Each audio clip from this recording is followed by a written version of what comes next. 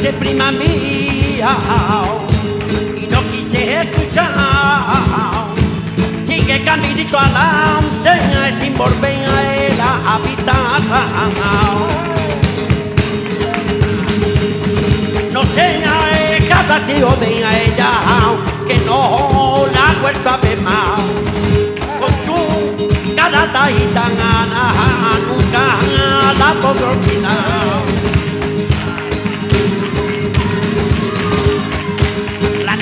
Siempre llorar.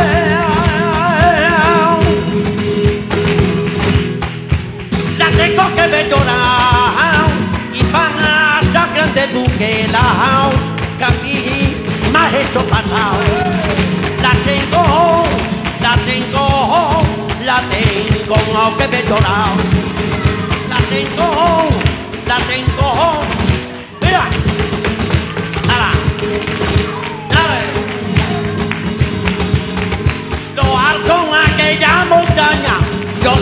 Caña, yo tengo una flor.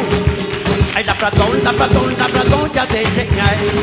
La platón, la platón, la platón, ya te checa.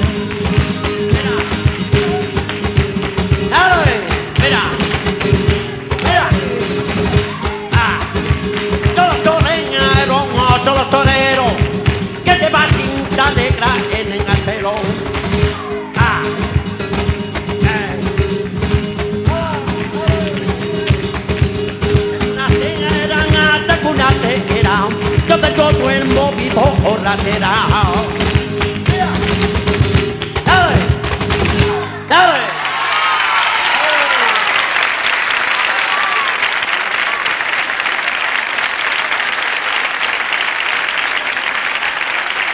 Muchas gracias.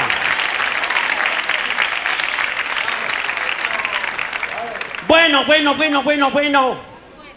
Una señora paseando con su niño de 10 años por el centro de Madrid y la madre llevaba un pedazo de abrigo de bisón que quitaba la cabeza por la gloria de mi madre.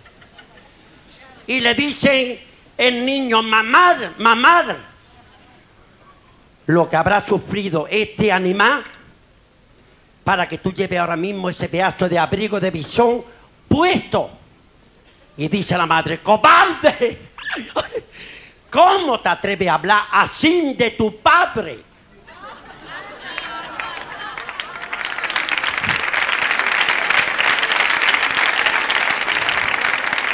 Bueno, le dice un amigo a otro, le dice un amigo a otro, cuando me va a llevar a tu casa y me va a invitar a comer. Y dice el otro, no puedo, no puedo, no puedo, no puedo. Mi mujer está muy mala. Y dice el otro, no importa, comemos otra cosa. Cobarde. Muchas gracias. Un anciano de 90 años que iba paseando por un barrio y llevaba el filtro de la portañica abierta. Llevaba la portañica abierta. Y le sale un mariquita y dice, basta, quieto, acuelo. ¿Qué pasa, hijo mío? Lleva usted la portañica abierta. Se le va a escapar el pájaro. Y dice el anciano, no importa, ya volverá porque sabe dónde están los huevos.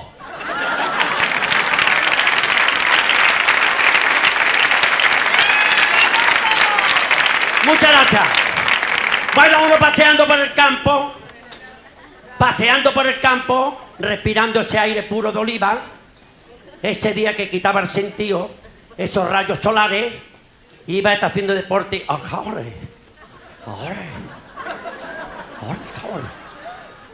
Haciendo deporte y mira para el cielo y ve un pato volando. Y dice este, ¿cómo? Pato a mí, mira para arriba, levanta la mano, no llevaba escopeta, levanta la mano y hace así. Y hace el pato así para abajo. Hasta luego, Luca. Y pega un patazo, derrame cerebral. Ese pato en el suelo, dormido, y dice, este, ¡ole! Tengo poder. Yo tengo poder por la gloria de mi madre. Tengo poder. Sin, sin escopeta ni nada. Mira lo que he hecho. Ahí está. Y se acerca este para comer pato, para llevártelo a su casa, para comértelo. Y se recupera el pato y hace el pato así. Oh, ay.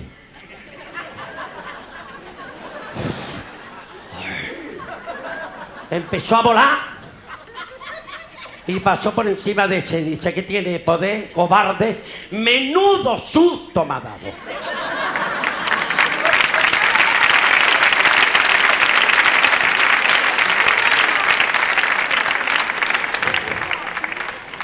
Bueno, uno que llega a tu casa con una borrachera muy grande que le daba la mano al mismo dos o tres veces.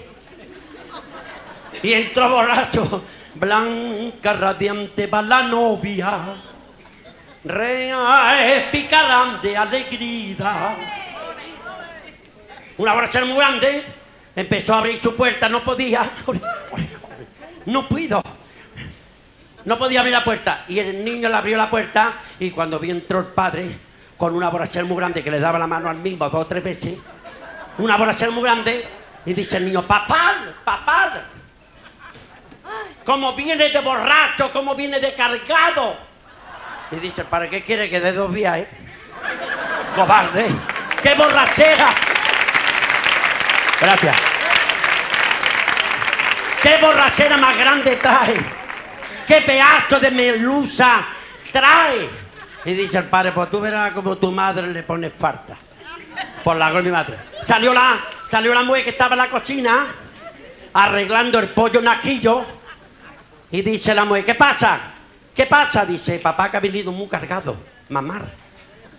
¿Qué dice? Que, que ha venido borracho, mamar. Y sale la mujer y dice, ¿qué pasa aquí? ¿Hay que no te da vergüenza, eh? La mujer tenía la espalda como un ropero abierto, el 44 de pie. Mira, si tenía los pies grandes que se quedaba dormido de pie y había que chucharle para que se cayera. Por la gloria padre. No te da vergüenza, tú sabes que estamos en Navidades y esta noche viene a cenar los niños mayores a nuestra casa. ¿Te das cuenta? Y hace el padre mayor. Una brocha muy grande. Y le dice a la muestra lo dice, mientras que yo arreglo el pollo naquillo que llevo un rato arreglándolo, ¿por qué tú no arreglas las angulas? Le dice el marido, ¿qué quiere tenerme? Cobarde, como el año pasado, tres horas pintándole los ojos a los videos. Hasta luego.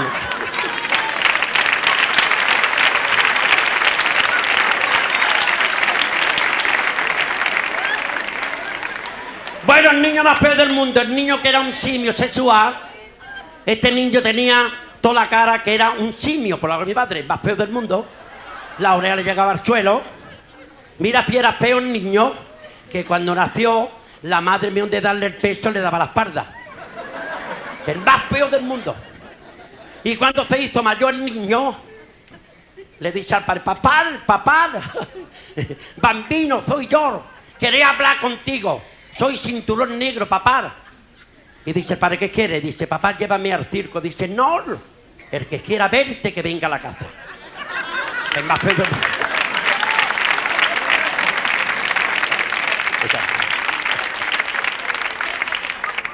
Bueno, otro que entra borracho, otro entra borracho a su casa y entra muy despacito, una borrachera muy grande, abre la puerta y ve a su hija con un pepino en la mano. ¿Cómo? Dice, padre, ¿qué haces tú? Pecadora, ¿qué haces tú con ese pepino en la mano? Dice, papá, tú sabes que yo tengo 75 años. Tengo años para que dos cuartos años. Y el cuerpo me pide la caída de Roma. No te vayas, muleo, que vamos a echar los videos. El cuerpo me pide unas tonterías. Papá, ¿te da cuenta? Y hace separación. Comprendo las cosas. Te voy a partir, Dios de no. Y se va el padre a una habitación, se encierra en la habitación y se tira dos días sin salir. Ese piso de 600 metros de grande. La niña buscando al padre tuvo que contratar un guía para dar con él y entra en una habitación y estaba cerrado y estaba el padre borracho cantando pido los dineros ay que me robaron lo que envidio lucero que me mataron una borrachera muy grande y le dice la niña papá ¿qué haces tú ahí? con ese pedazo de botella de vino blanco y estaba el padre con una botella de vino blanco y el pepino al lado. Dice aquí con mi yerno tomándome una copita. Hasta luego, Lucas.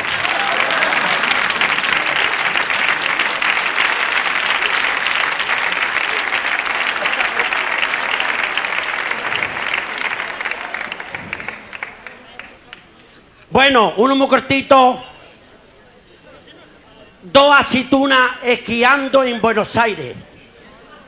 Dos aceitunas muy chiquititas, esquiando las dos, y salieron las dos aceitunas al ataque a 70 kilómetros por hora.